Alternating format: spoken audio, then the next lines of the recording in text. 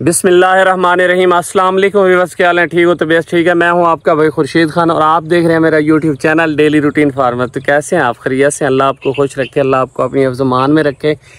आज मेरा भतीजा आया हुआ है लाहौर से। ये पंजाब यूनिवर्सिटी का स्टूडेंट है।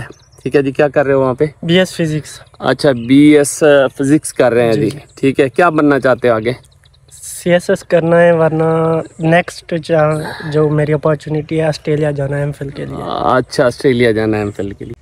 अच्छा चलें ठीक है जी हम थोड़ा सा आप, आपको कार्टन भी दिखाते हैं।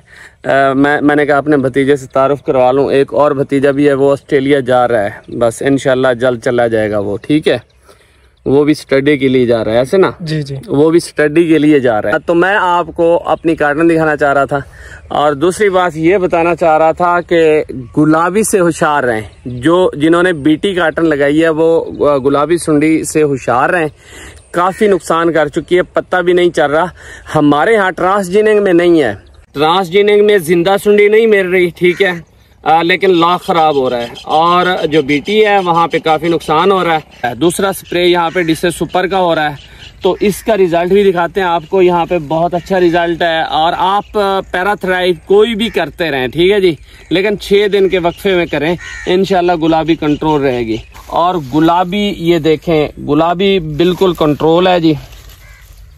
ठीक है? और नीचे ये ओपनिंग देखें नीचे भी बिल्कुल ठीक है।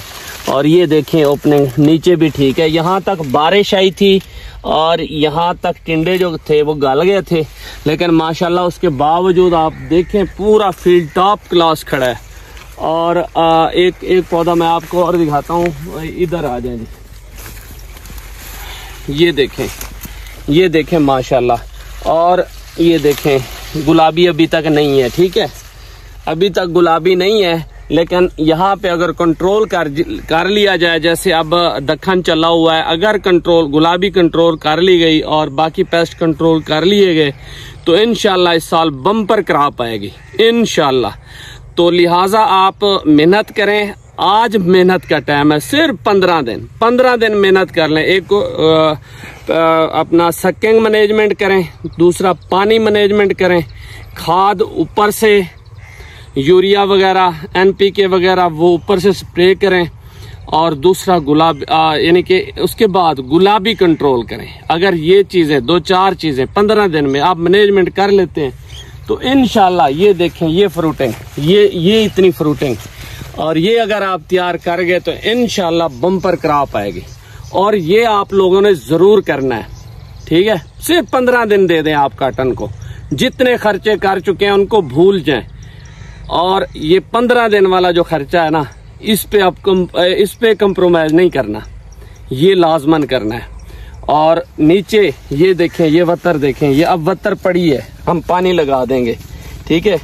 तो आप भी वत्तर को बरकरार रखें पंद्रह दिन। अगर दखन चलता है पंद्रह दिन वत्तर बरकरार रखें ये फ़ील्ड भर जाएँगे इनशाला रूटिंग से और गुलाबी से कंट्रोल करना है। और अगर मक्खी कहीं पे है तो मक्खी के लिए हमने जो स्प्रे किया, इस फ़ील्ड में तो नहीं है हमारे, बिल्कुल मक्खी नहीं होगी, आपको नज़र भी नहीं आएगी, ये देखिए।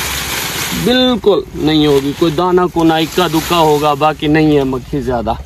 तो जहाँ पे हमारे यहाँ मक्खी थी, हमने वहाँ पे फ्लोनी कमिड अस्सी ग्राम वाला पाउडर लिया है इंडस्ट्रियल एरिया मुल्तान से, और साथ में वहाँ से हमें पैरी मिली है, साढ़े तेरह सौ रुपये का लीटर, आधा लीटर हमने वो इस्तेमाल किया है तो हमारा ये प्रॉब्लम बिल्कुल ख़त्म हो गया और बहुत एक्सीलेंट रिज़ल्ट मिल गया। तो बीटा सेवलोथ्रीन, वो भी आप यानी कि वो भी आप कर सकते हैं, ठीक है जी, वो हमने सिर्फ़ 200 के हिसाब से की है बीटी में।